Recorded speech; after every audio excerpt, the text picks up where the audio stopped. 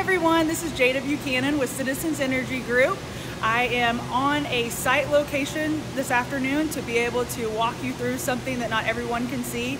I'm at the Deep Rock Tunnel uh, pump station with John Morgan and I'm going to turn it over to him for him to tell you more about what's going on, where we're at and what we're looking at and I really hope you guys enjoy this video and learning with me as well. So John, take it away. Hi Jada, hi everyone. Welcome to the Deep Tunnel Pump Station. This is the deepest part of our tunnel system. Where our gravity flow comes in from the tunnel, we pump it 300 feet to the surface and then it flows over to the Southport Advanced Wastewater Treatment Plant. This pump station has a multitude of components in it. The biggest part is our four 30 million gallon a day pumps. We have four, we're required by the Environmental Protection Agency to have three plus a spare. That's why we have four. We do have the ability to pump 90 million gallons a day. Tremendous amount of flow. Currently, we've been in operation since December of 17. Since then, we have pumped in excess of 1 billion gallons of flow. That much flow has not made it to our waterways.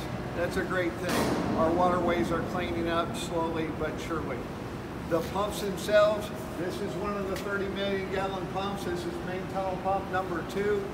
As the flow feeds off the tunnel into the pump, it's pumped to the surface. This has almost 2,000 horsepower.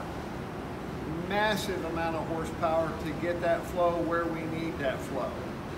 You hear in the background some air exchangers running. We keep a clean air environment down here. We constantly have air exchanges. At this depth, we get a little bit of hydrogen sulfide in the actual groundwater. So we want to keep a clean environment for all employees or any visitors we have inside this structure. I'm going to go over here a little bit and show you, you see the walls of the cavern. They've all been shotcreted. They have a shotcrete lining. They also have a water intrusion prohibitor to eliminate any groundwater that would inflow through the rock. Um, with that, we've got a massive cavern here. It's 60 feet wide, 100 feet in length, 88 feet in height at the center of the crown on the top. It's a huge pump station, unlike any other Indiana has ever seen. We see a lifespan of between 50 and 100 years for this project, not for all the mechanical components, but the actual shell that will house them. That's the deep tunnel pump station. Great. Now, John, you know I was nervous coming down here because how far underground are, are we right now? If we took the stairs out, we'd be 22 and a half floors underground. Wow. Some people do take the stairs on a regular basis. I won't name myself. yeah, I can assure you we probably will not be doing that today. if not, we may not be able to actually post this video for our friends on, on social media. So, well, John, is there anything else you want to share with us on this particular location before we sign off? The only other unique component down here is we have what's called the knife gate valve. We keep the knife gate valve at all times when we are not pumping flow to the plant. It allows this structure to stay significantly locked down and not get any flow into this structure until we're ready to receive it. That's pretty much it. It's a great structure, it's a great project, and we look forward to pumping much flow in the future. Great, thank you so much, John.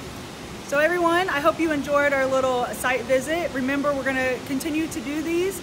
Uh, I've been bringing you more updates and more behind the scenes look at the Dig Indy Tunnel Project. If you're just learning about Dig Indy, make sure you visit Citizens Energy Group uh, website and go to our Dig Indy page. We have a virtual tour you can walk through and we're always happy to answer any questions and let you know what else is going on.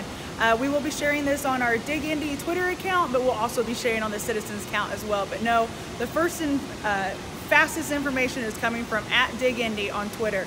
Hope everyone has a great day and thanks for checking out our video.